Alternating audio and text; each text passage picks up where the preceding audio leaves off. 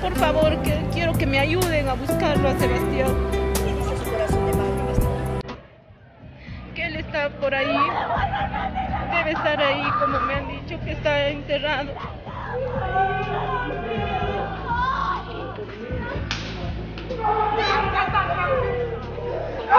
Tú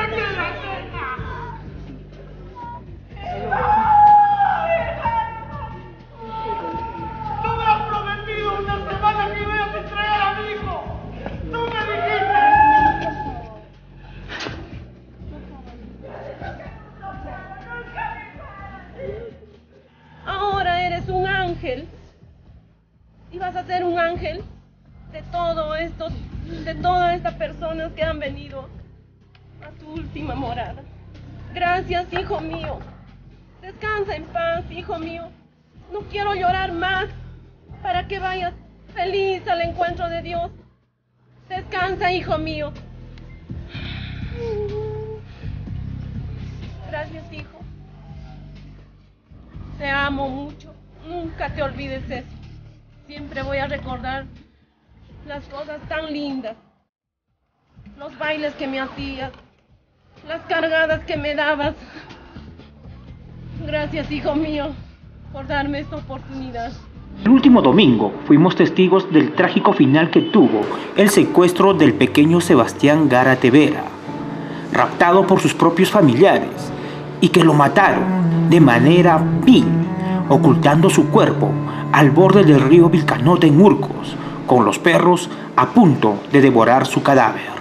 Momentos difíciles para los padres que tuvieron que reconocer el cuerpo en la sede de la Divincri, desatando una terrible escena de dolor.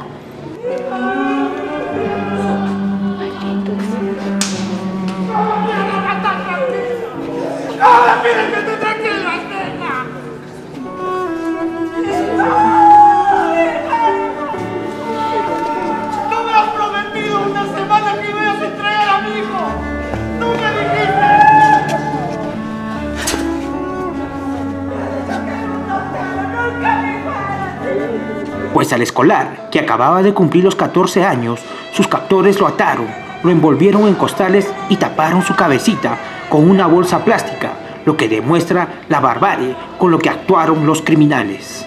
Yo he estado analizando un poquito este caso porque hace una noticia que ha, ¿no? que ha remecido lo que es la ciudad del Cusco, porque pocas veces hemos escuchado esto y la forma como ha sido encontrado y de repente cómo le han dado muerte a este pobre muchacho es muy indignante para todos los que son papás y también para toda la sociedad. Pero entendamos acá lo siguiente. Estos muchachos que han cometido este crimen con este muchachito son chicos que han vivido dentro de la familia. Parece que ha habido ahí un tra- una serie de maltratos y han podido crecer con un resentimiento social hacia los demás. Ese resentimiento social que se ha demostrado en la forma como lo han matado.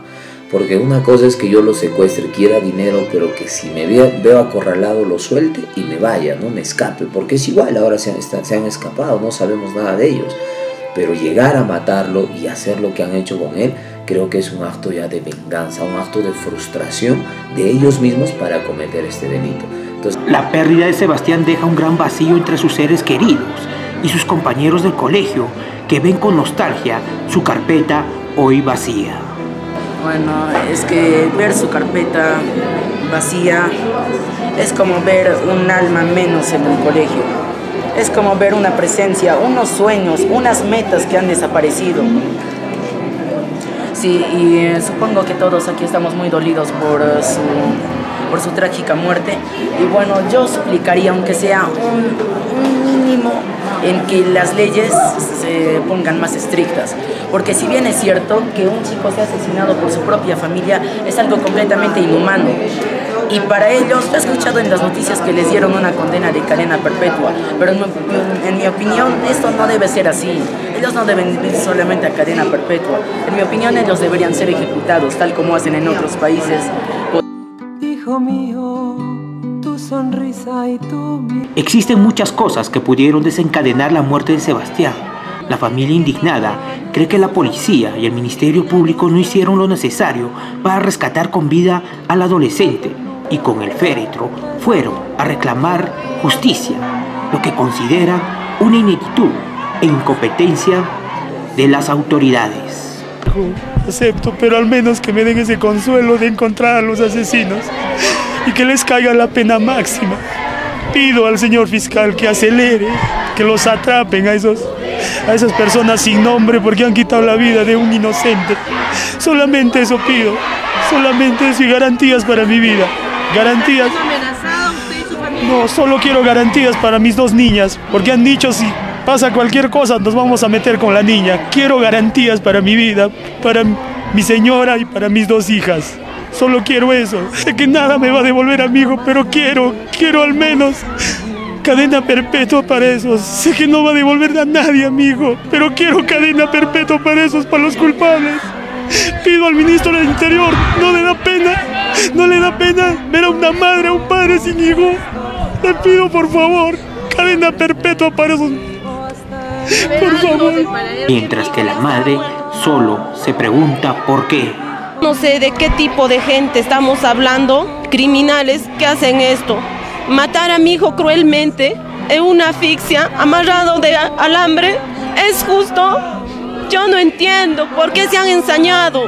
Donde me estés viendo, Percy, te pregunto, ¿qué te he hecho yo? ¿Por qué has hecho esto con mi hijo? ¿Por qué? ¿Qué te he hecho? ¿Qué te hemos hecho? ¿No te hemos abierto mi casa? ¿No te hemos ayudado de algún modo? Al fiscal le pido una sola cosa.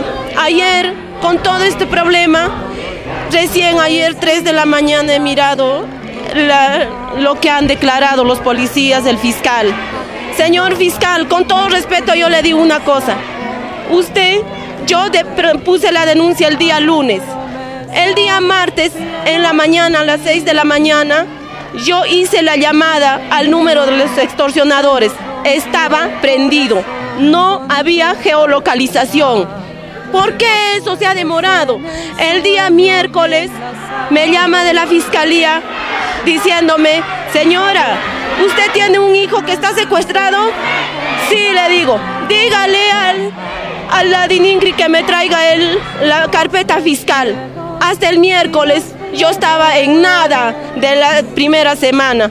A su turno, las autoridades tratan de excusarse, afirmando que se actuaron dentro de los protocolos y que no se podía detener a Percy Peralta, principal sospechoso del secuestro, porque no había pruebas contundentes.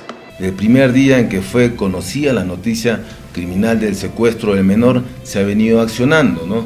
Eh, ha venido, se ha venido copiando imágenes de, los, de las cámaras de videovigilancia, se ha pedido inmediatamente también la orden de captura de los sujetos e incluso el levantamiento del secreto de la comunicación para el teléfono del cual se había efectuado la llamada.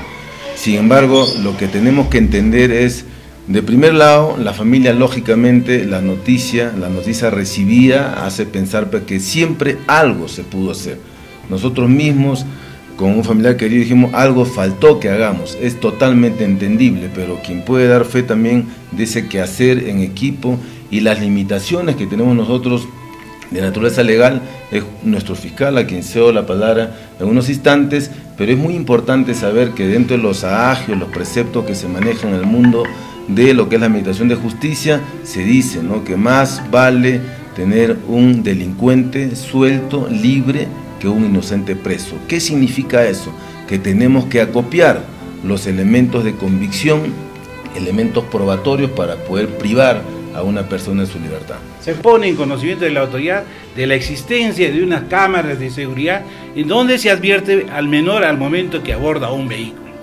Y si nos remitimos este documento vamos a advertir que en ese momento la mamá no nos indica, no reconoce así a plenitud que se trata de un vehículo, del vehículo de su hermana y también en este caso de Percy, sino señala que hay ciertas coincidencias en las características del vehículo. Es al día siguiente, o a los dos, a los dos días siguientes, perdón, a tres días después, que ya en, el interior, o sea, en el ambiente familiar, es que la esposa de Percy, de Percy Peralta, Galiri, es quien reconoce el vehículo como suyo y lo reconoce a su esposo como una de las personas. Eso es el día 29. Lo cierto es que la madre es quien consiguió el video donde se identifican a los sospechosos del secuestro, pues la policía hasta ese momento no había movido un solo dedo. Sebastián murió y con ello se van las esperanzas de vivir en una sociedad justa, libre de criminales, que nos dan a reflexionar lo mal en la que estamos. Bueno, creo que era un tema que se tenía que ya venir a en, nuestra sociedad, ¿no? Porque no estamos atacando muchas veces la prevención, sino estamos de frente yendo a atacar el problema. Cuando pasan estos casos recién algunas autoridades, algunas personas interesadas dentro de todo esto empiezan a tomar cartas en el asunto, pero más antes nos olvidamos y nos estamos olvidando una parte tan importante que es pues la educación y las familias, ¿no? Las familias en educación en valores, que desde muy pequeños sean educados correctamente para que no crezcan frustrados como estamos viendo en la actualidad. Yo pienso que todas las personas que cometen crímenes, que están dentro de la delincuencia, aparte de tener un trastorno antisocial de la personalidad, esta, este trastorno se crea porque por su frustración, por la incomodidad que hay en él mismo de lo que está viviendo. Pues el dolor de la familia no encuentra consuelo, menos resignación por perder al ser querido y la impotencia al saber que los criminales, Percy Wilfredo Peralta, están libres, como si nada hubiera pasado. Todos nos debemos eh, poner a pensar que hay una frase que dice, ¿no? Es más difícil, o perdón, es más fácil enterrar a un papá, a un abuelo, que enterrar a un hijo, ¿no? El dolor que se ha causado en estos padres es un dolor grande. Si bien es cierto, ellos están ahorita con vida y pueden seguir de repente con sus vidas, pero ya no es la misma. El entrar a su casa, recordar que un saludo, recordar el cuarto de este muchacho, las anécdotas que han vivido, las fotos, les va a traer una frustración grande. Y de repente como una forma de que ellos se sientan un poco más en paz, sería encontrar a los culpables para poder estar tranquilos de que están pagando por lo que han hecho. Todos recordarán a Sebastián como un niño alegre, dedicado al baile, como lo recuerdan sus amigos, y al darle el último adiós, donde sus restos tuvieron cristiana sepultura en aquel cementerio del distrito de San Jerónimo. Solo la madre sabe el infinito dolor que tiene y despidió con estas palabras a su pequeño Sebastián, que pese al deseo de la mamá, él no descansará en paz mientras sus verdugos estén libres, criminales que habrían actuado en complicidad de más personas. Tus amigos de la primaria, de la secundaria, te aprecian mucho. Ahora eres un ángel y vas a ser un ángel de todos estos, de todas estas personas que han venido a tu última morada. Gracias, hijo mío. Descansa en paz, hijo mío. No quiero llorar más para que vayas feliz al encuentro de Dios. Descansa, hijo mío. Gracias, hijo. Te amo mucho. Nunca te olvides eso. Siempre voy a recordar las cosas tan lindas. Los bailes que me hacías. Las cargadas que me dabas. Gracias, hijo mío, por darme esta oportunidad. Si ha sido así el destino cruel de sacarte de, mi corazón, de mis entrañas, lo acepto. Lo acepto. Gracias, hijo mío. Descansa en paz, hijo mío. Te amo mucho, hijo. Yo sé que estás ahorita conmigo. Gracias, hijo mío. Descansa en paz. Descansa en paz, hijo. Gracias, hijo mío.